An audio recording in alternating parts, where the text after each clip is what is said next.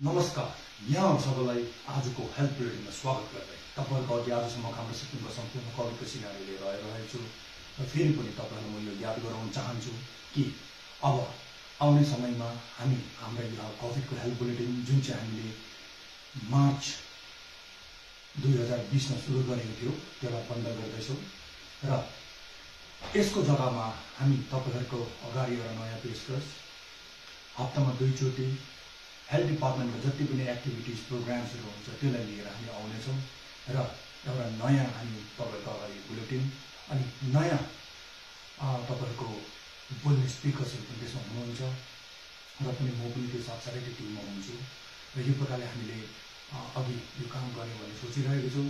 र अब हामी आउने समयमा तपाईँहरू ल्याउँछौँ र टाइम तपाईँहरूको अगाडि अनि कहिलेदेखि सुरु गर्ने पनि तपाईँहरूको राख्नेछौँ र अब अघि बढ्दै आजको म डाटा राख्न चाहन्छु तपाईँको अगाडि र हाम्रो टोटल एन्ड तिमीले एक सय अठारजनाले गर्नुभएको थियो।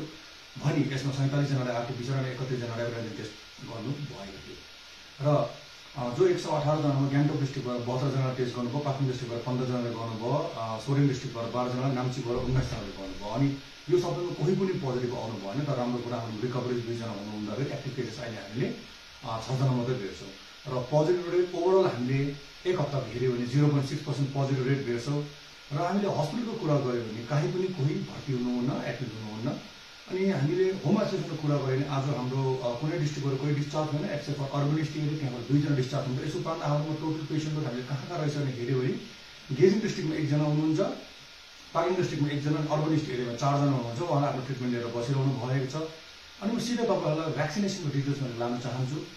र कोभिसिल्डको फर्स्ट डोज हाम्रोमा हेऱ्यो भने hundred and four point four four percentage complete भएको छ second dose ninety point four four percentage अनि precautional dose forty one point three three percentage complete भएको छ यसरी नै पन्ध्रदेखि अठार वर्ष कोभ्याक्सिनको first dose ninety seven point three zero percentage second dose eighty five point three zero percentage complete भएपछि बाह्रदेखि अठार वर्ष कोभ्याक्सको first dose eighty four point two two percentage अनि second dose seventy three point one zero percentage complete भएको छ so यो प्रकारले अब भ्याक्सिनेसनहरू भइरहेको छ। र को कति कहीँ लाउनु भएको छ को कतिले कहाँ लाउनु भएको छैन कुन चाहिँ डोज लाउनु भएन तपाईँलाई याद हुन्छ? यो पर्सेन्टेजको मैले यहाँ राखेको अगाडिबाट र तपाईँले टाइमली आएर आफ्नो यो भ्याक्सिनेसन लगाइदिनुहोस् अनि यो आह्वान गर्न चाहन्छु कि तपाईँले टाइमली लाउनु भयो भने इम्यु इम्युनिटी बुस्ट हुन्छ। इम्युनिटी बुस्ट भने तपाईँलाई थाहा भएकै कुरा हो। कोभिड लागिहालेको खण्डमा पनि तपाईँहरूलाई एकदम गम्भीर अवस्थामा पुग्नु यहाँ जान गुमाउनु पनि तपाईँलाई बचाउँछ तर कोभिड लाग्दै नलाग्ने हो कोभिडलाई एकदम तर लाग्ने हुने हो भने भ्याक्सिनेसनको साथसाथै तपाईँले कोभिड एप्रोप्रिएट बिहेभियर पनि असल तरिकाले असल नागरिकबाट फलो गर्नुपर्ने हुन्छ। मास्क सैँतरका सैँतरका मास्क लाउनुपर्ने हुन्छ। मास्क जताबाट त्यता घेर्नु भएन। फाटेको पुरानो मास्कहरू भिजेको मास्कहरू लाउनु भएन। अनि हात साबुन पानी लगाएर धुनु पऱ्यो साबुन पानी नभएको खण्डमा सेनिटाइजर लगाएर सेनिटाइज गर्नुपर्ने हुन्छ। त्यहाँदेखिको तपाईँहरूले फेरि आँखा नाक छुट्टी आँखा नाकलाई जोगाउनु पर्ने हुन्छ। किनभने यो आँखा मुखमा हाम्रो हातबाट हामीले घरिघरि नाक आँखा मार्ने गर्छ नाक छुने गर्छ त्यसरी भाइरसहरू ब्याक्टेरियाहरू अरू पस्ने गर्ने हुन्छ। कोभिड मात्र नभएर अरू बिमारी रुगा मार्गिनु पऱ्यो पक्रिनु त्यो पनि लाग्न सक्ने हुन्छ। सो साथसाथै तपाईँको हामीले सोसियल डिस्टेन्सिङ या दो गजका दूरी दिन्छ भने जति सक्दो राख्नु सक्यो त्यति राम्रो हामीले भिडभाडको एरियालाई अलिकति अभोइड गरेको राम्रो। र मिटिङहरू गर्दा कहीँ जङ्गलहरू बाहिर खिड्कीहरू खुल्ला भएको राम्रो तपाईँको हावाको आदान प्रदान भएको राम्रो हो।